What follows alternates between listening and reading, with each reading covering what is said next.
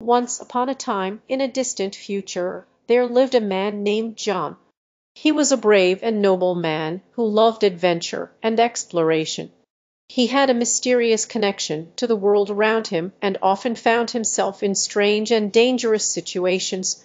John had always been fascinated by death, and so when a strange opportunity arose, he decided to take it. He was offered a chance to explore a mysterious and unknown place called the Valley of the Dead. Despite the danger, he accepted the offer, and ventured into the valley.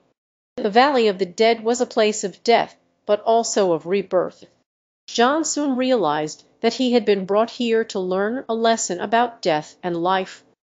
He encountered many strange creatures and people, and eventually reached the heart of the valley. At the heart of the valley John encountered a spirit. The spirit offered him a choice. He could remain in the valley and accept death, or he could leave and live life to its fullest.